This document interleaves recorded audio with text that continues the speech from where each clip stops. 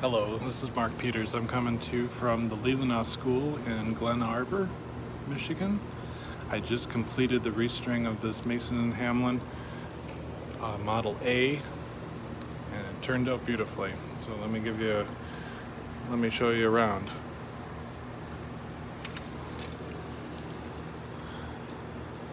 This turned out particularly nice. It didn't do anything to the soundboard. Um, oversized pins, Hellerbass bass strings from Germany, Roslau bass uh, treble strings, and it just turned out beautifully, I think. And I wanted to play a few things for you on it, so let me set you down here and we'll get you a tune.